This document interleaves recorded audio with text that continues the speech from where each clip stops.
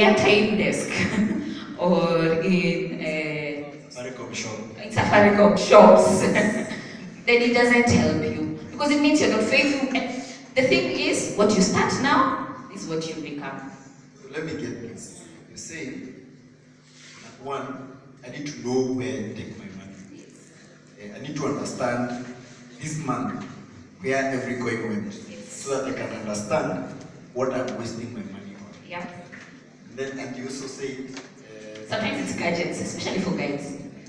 yes, uh, no plan. So you to say uh, that if I've not planned for it, I'm not buying it. Basically, I can't. You, um, for me to be to use my money well, I can't do impulse buying. I have to plan for it. I need A, B, C, and it makes sense because if the need comes when you're there, where was it all week? And the small things, those 100 shillings are what become a thousand shillings. It starts with 100 bob for what something unnecessary, and then it becomes a thousand shillings. I would like to say something else. Uh, this one I stole from Esther and she's getting to share. Now it's about our phones. Si tunapenda simu sana, which is fine. It's, our age anyway. But like most of us, we have twin SIM. Sindio? But what happened? Hiyo second line iko empty. Zain like with 24. Eh? Airtel. Go buy Airtel line, uweke kwa simu. Si haubai simu ingine si uko na phone iko 20. I'm just giving you a strategy on one of the things we spend money on Credo. So, and then by the way, it is very, very bad to spend if you're not earning. You are a thief. Where are you getting money from? Are you understanding? I think, why would you spend if you're not earning? That means you are thieving someone. Either your man, your parent, help, whoever. Unani So, do this. Go if you have a twin SIM or if you can afford Kabambe, ile ya so ya 1000 buy eka ya Zain ama Orange. Tumia Safaricom WhatsApp, buy bundles, ni sawa. But ukitaka kucall beshte yako, tumia Orange because it's cheaper. Are you understanding? At the end of the day, you call your friend, you have fun like you used to, and you cut cost. Are you understanding? Actually got an Airtel line recently because of such conversations. I realized there's actually a very big difference between Safaricom and Airtel. Conversation for another day. But there is a huge, Yes, huge. so today, uh, Airtel is giving like for 1K, 400 minutes to any other Yes. network. I don't know how many, like more than 200 SMS. I'm like, And wow. MBs, like, I don't know how many MBs. Did they, did they rob the bundle market or something? But they have very good deals. But many people don't know about them. And I think the last can I go to the last thing so that we can probably also just conclude. The last thing is about saving. And I won't spend too much time on this, but the thing I personally believe about saving, and this is from experience. When I started working, I, start, I opened a savings account. When you start working, what happens with banks? They target people. They know. So if you put a job, Safaricom, like they even know when Safaricom gets paid, bonuses, when you get a job in PwC, and they land in your door. You're clueless. So when they tell you open this account, you open, okay. That's what happened to me. And I remember StanChart came and they said open a savings account, and I opened. Little did I know that savings account was going to be straight access once every three months, which is supposed to help me save. But the thing I realized through that process was if you save without a purpose, it is useless saving, as far as I'm concerned. Because what happens is I would put money in a savings account, but when I get a chance to go to that account, I will wipe it clean. Because your pesa eh, haikuwa na any purpose. Was it having any purpose? It was just money I was seeing. And so I just wipe it clean and I go and I buy my shoes or I do whatever I need to do. And so one of the things that I've learned over time is I save with a purpose. So when I open a saving, a saving account, I know what I am saving for. And I encourage you guys to do the same thing. Have a saving account. Hata kama unaweka 100 shillings, but be sure what you're putting that money for. If you don't know what you're putting in, therefore the next time you're broke, the first account to be raided will be that savings account. So for me, it's one, open a savings account, but do know what you're saving for. And as you guys, as young people, there are many saving that you can afford to do. So for example, within the Lapid class, we had a lady from, I think, Stanley come in and, show, and explain how to open a CDS account. And I was amazed that you can open a CDS account with a thousand shillings. One of my students who owns, uh, has a CDS account that they've held from when they were in university, and they have a good portfolio. In fact, me, I went for classes from her. Wairimu has, you guys know Wairimu, she has a CDS account that has a good portfolio. Wairimu Mwaniki doesn't. Who, what is a CDS account? For those of us who are not financial. It's uh, I don't know the full name. Central.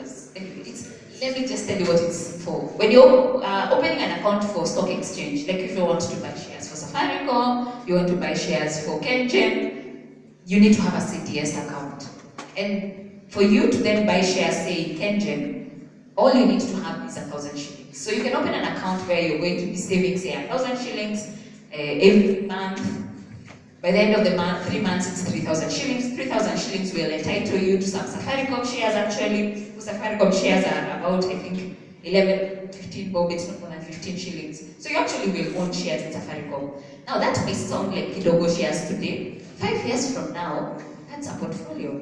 So you start small.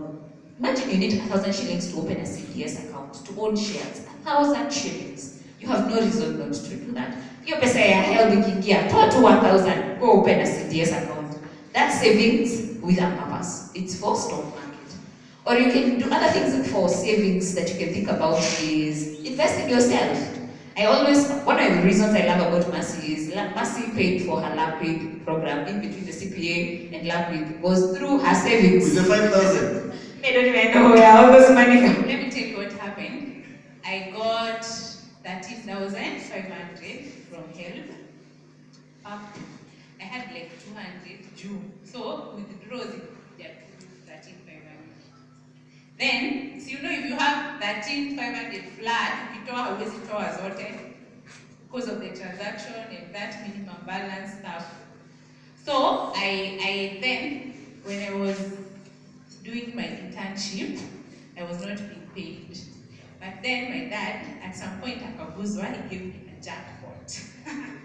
of like 15k. He told me to buy a phone, which I did. I saved the money, then I talked to my friend who had two phones, who gave me a phone. That's a lot. because I knew come January I'm doing Lapid and I have to pay for my CPA. So you already planned that. Yeah, I knew why, why I was saved. So actually I went to paid Esther the whole chapasti kama alienda retreat. And that's what saving helps with. Like if you know what you're saving for. And for her, it was Lapid. For you guys, it could be you're saving to buy a phone. It could be you're saving to open a CDS account. It could be you're saving for a plot in Yogeshari. No plots in Murang'a are 150k. she knows. but just save with a purpose. And all you'll then probably need to do is put aside a specific amount. The thing that you don't realize is every everybody starts in the same place. You all will start in the same place. But some of you will differentiate themselves, like that high school kid, based on how faithful they will be with the loss, with everything that they have. And I like a quote by, I can't remember her name, I don't know the name has forgotten us, but she runs Centonomy. And she says, she asks, are you investing in assets or are you investing in flossets? And she says flossets are those things for flossing. You guys have things that you get for just flossing. Zile za ili tuone I have an iPhone or are you investing in an asset or are you investing in flossets? Because when you save without a purpose, you will invest in flossets. But when you save with a purpose, you will save in assets. Uh, I would like to say my last few words. First, uh, I am very happy to be here and to just be with my peers. It's really a good privilege. I thank God. But let me tell you, it is start small. Usiwaidanganywa na mtu. It start small and never think ati unangoja uana 100k uanze kusave. Hivyo venye umezoea kuspend hiyo 10k ndio utaspend hiyo pesa. So start now and a, a very good analogy See, we all get HELB money. I mean, HELB because everyone is familiar with it. Unajua, eh, HELB imeingia 20k ama whatever. Then you realize as you move down the days, hakuna pesa. Why? Because you withdraw. Si? So tunatoka somewhere, we go to zero. What if you start saving? You save a hundred bob, you save whatever you can. Like for example, you can go meet your uncle who gives you a thousand. Papa treat, okay, kama ni lazima ujitreat, fanya halfway. Kula half, weka half. With time, you will notice progress. And it becomes a habit, and it becomes your lifestyle, it becomes a character. Finally, I want to tell you, money does not shape character. Hiyo ni cliche and it is a, a myth. Huyo alipata do akaringa. Huyo mtu hata akiwa maskini alikuwa na maringo ni venye hakuwa mnaona. Money and not this. If you don't remember anything else, remember this. Money does not shape character. It just magnifies who you really are. You see, people who are generous, generally, if you, you, if you have a friend who is very generous, time yenye ako broke ukienda room, anakupeanga black tea. Ndio? Time yenye maybe vitu ziko poa, anaongeza kamkate. Ule mwenye ni mstinji whether he has or not, hata maji ya kunanga. So don't think huyo mtu mwenye hakupei maji, when akipata millions, he will give you. Mm-mm. So, money does not shape character, it just magnifies who you are. So you better work on your character right now so that when money comes, it just gives you opportunities to be more of who you are. Thank you. But I think for me, what I'd like to conclude with is what this series is about. You're calling it Money Wise. And for me, I love that. Because I, and, and, I don't know how you guys have access to the Mavuno sermons, but I'd advocate for you guys to go and look for a, a series Pastor Ed is run, I think, last month. And one of them that I love is called, I think, Wisdom Before Wallet.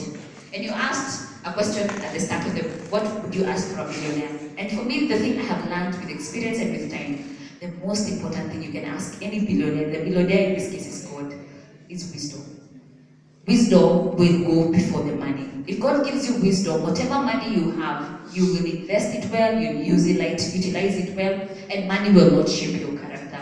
And so for me, the thing that I want to ask you guys as you finish is ask God for wisdom.